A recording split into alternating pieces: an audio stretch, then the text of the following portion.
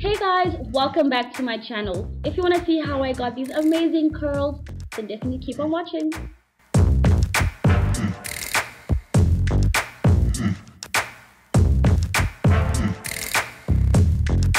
So before we get started, I had a mini accident with my t-shirt and I had to go and change. okay, so as you can see, I'm starting my style out on dry, crusty, old, tangled, matted, dilapidated, shabby, old hair. I've been wearing my hair in a twist out and it's just been getting worse and worse by the day. I haven't been really retwisting or anything and this is what happens. And yes, I found something in my hair. I don't know what that is. Goodbye.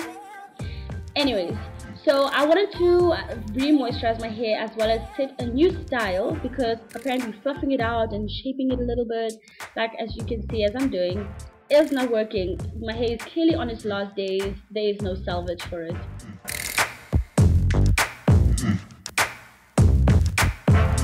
No?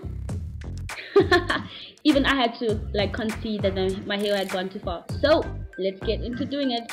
Oh, and yes, I'm due for a trim.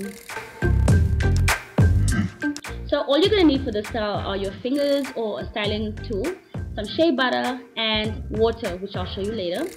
So the first thing I do when styling my hair is always section it off into smaller, manageable sections, um, just so that it makes it easier to style your hair as well as it kind of gives you control as to the shape you're gonna get. Um, a nice huge section in the middle on the top of your head helps for volume. And all I'm doing is just rolling them into some loose bantu knots to keep them stretched and out of the way.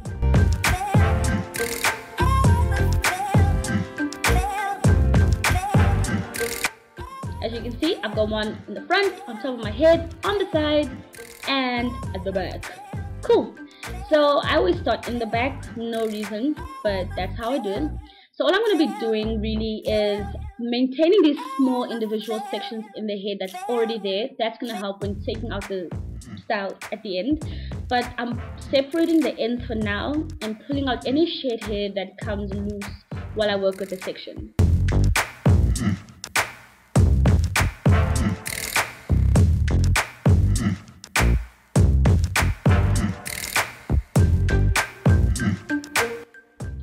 Like I said, you're going to need some water or any moisturizer of your choice. You could use a leave-in conditioner, whatever you feel like using.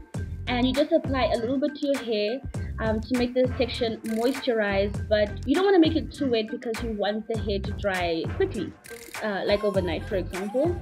And you just continue removing shed hair from your from the section. You don't want to detangle too much because you want to maintain those sections.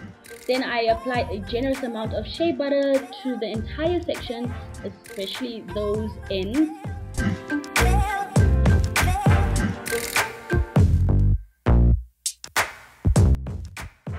I then split the section in half and then I decided proceeded to roll the bantu knots and I'm just doing a simple old school style bantu knot by making just one large twist and twisting the hair on itself. And one tip in doing a bantu knot is to make sure you keep pulling on the ends to ensure that the hair doesn't bunch up on itself it doesn't become tangled and it remains stretched. And when you get to the end of that section you just give the ends a twirl and roll the bantu knot and then tuck the ends underneath to secure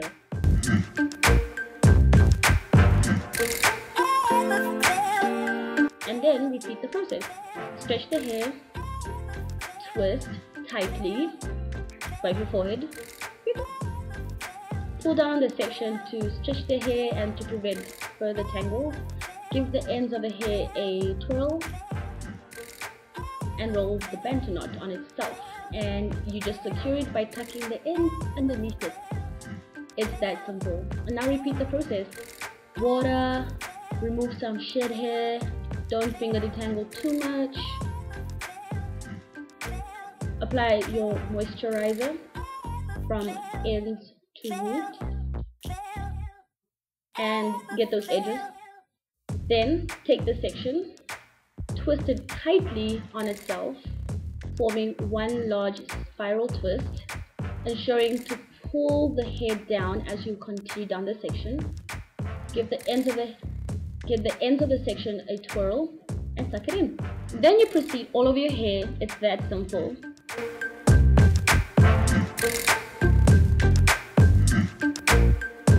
Just one styling tip for those of you who don't know why your styles don't always come out right.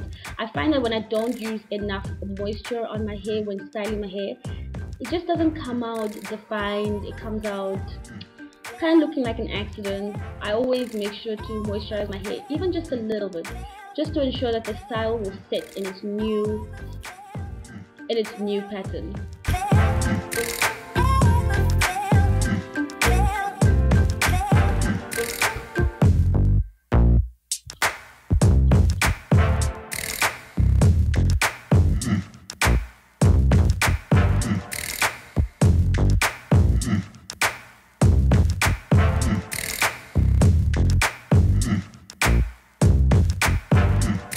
Finally done.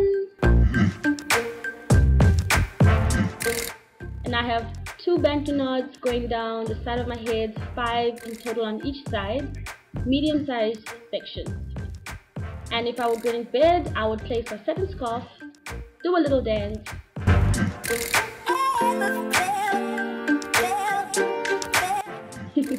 Then head to bed. See you tomorrow Hey guys, next day and time to take down those bantu knots. Are you listening? Damn. When I started to take the knots down, I was pleasantly surprised at how defined the section was and even more surprised at how shiny my hair was. Yeah. I'm sure you remember what it looked like yesterday and how it looks today. Yeah. Yeah. Uh.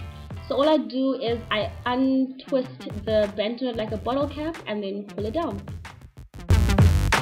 And guys, I'm not kidding. Look at the shine on my hair. I think that comes mostly from twisting the hair tightly and making sure the hair is taut.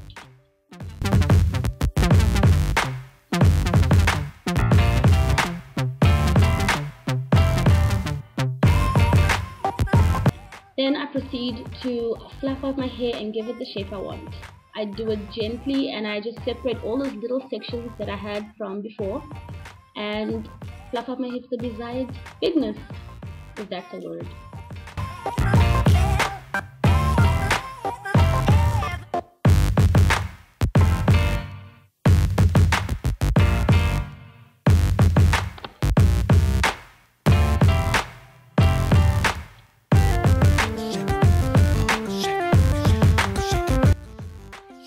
Now, my hair isn't the shape I want it to be because it's just growing out in a random shape. So I have to manipulate it a lot to kind of get the desired shape. So here's one trick that I always use.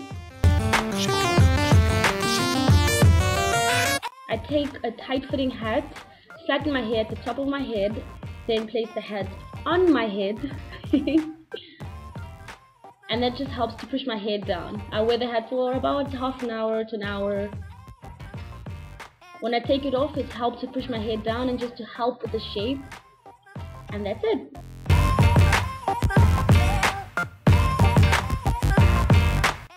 Beautiful, bouncy curls, shiny hair, moisturized hair.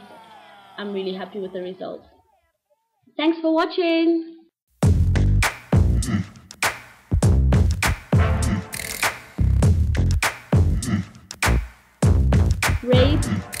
comment, subscribe. I'll see you in the next one. Bye!